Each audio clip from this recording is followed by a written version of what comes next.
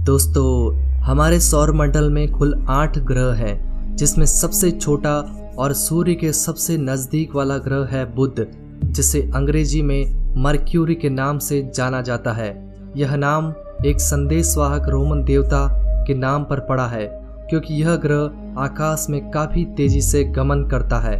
लगभग 88 दिन में ही यह ग्रह अपना एक परिक्रमण पूरा कर लेता है। बुध ग्रह को पृथ्वी के बाद दूसरा सबसे घना ग्रह कहा जाता है, जहाँ खनिज की अधिकता है। यह मुख्य रूप से भारी धातुओं और चट्टान की विशाल संरचना से बना ग्रह है।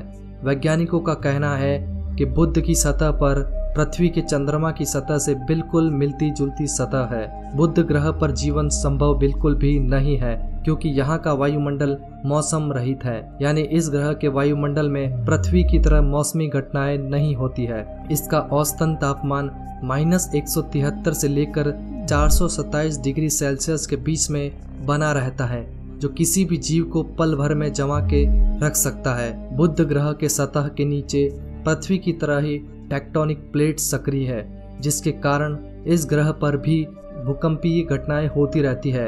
यहाँ की सतह पर कुछ प्राचीन लावा क्षेत्रों की उपस्थिति से पता चलता है कि अतीत में यहाँ पर ज्वालामुखी गतिविधियाँ होती रही होगी। बुद्ध ग्रह को सुबह या शाम का तारा भी कहा जाता है, क्योंकि यह सूर्योदय से पहले और सूर्यास्त के ठीक बाद आसमान में दिखाई देता है यह सौरमंडल के उन पाँच ग्रहों में से एक है, जो आसमान में नग्न आँखों से देखे जा सकते हैं। बुद्ध के अलावा अन्य चार ग्रह, शुक्र, मंगल, बृहस्पति और शनि है। बुद्ध पर एक दिन पृथ्वी के एक सौ छिहत्तर दिनों के बराबर होता है।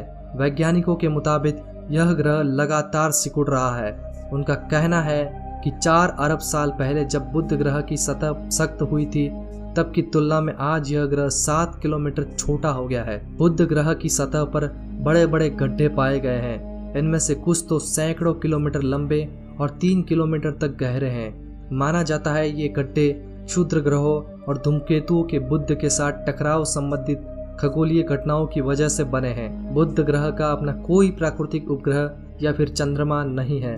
इसके अलावा यहाँ की सतह पर अजीब तरह की झुर्रियाँ पाई जाती है। माना जाता है कि बुद्ध पर अत्यधिक गर्मी के कारण जैसे जैसे लोहे का सिकुड़ना शुरू हुआ, यहाँ की सतह जुर्रीदार बनती चली गई। इन जुर्रियों को लेबोर्ट लेबोर्ट्स के नाम से भी जाना जाता है और ये जुर्रियाँ एक मील तक ऊँची और सैकड़ों मील लंबी हो सकती है। तो दोस्तों, बुद्ध ग्रह के बारे में जानकारी आपको कैसी लगी, हमें कमेंट करके ज़रूर बताइएगा।